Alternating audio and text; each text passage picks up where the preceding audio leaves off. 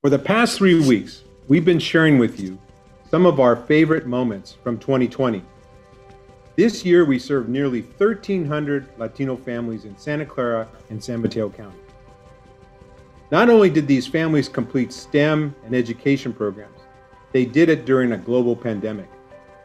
Despite all the challenges of COVID 19, our Latino parents were there to persevere for their children.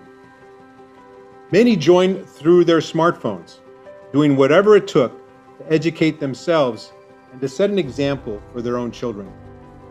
The interviews we conducted during our Latinx Scholar Chats were inspirational and served as a reminder that there are many Latinx students in the high tech employment funnel.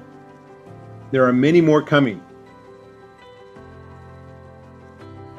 I am so proud of our Hispanic Foundation staff. They stepped up to the plate and executed all of our education programs in this unprecedented year. We truly could not have done any of this without the support of our generous donors and board members. Thank you all for your support this year.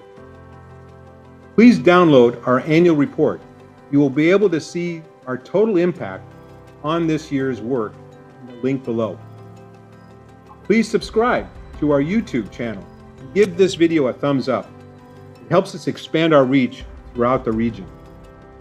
Also, if you can, please be sure to make a contribution before the end of the year. You'll have time. You can find the link below to make that contribution. Lastly, it is in fact too early to know the final impact that COVID 19 has brought on our Latinx community here in Silicon Valley. However, it is clear it will leave an enormous impact on our low income Latino families if we don't come together.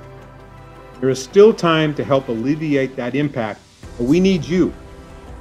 We need you to contribute, to like, comment, and share the work of our foundation. We are committed more than ever to support our Latino community. Stay safe and healthy. Happy holidays. See you in 2021.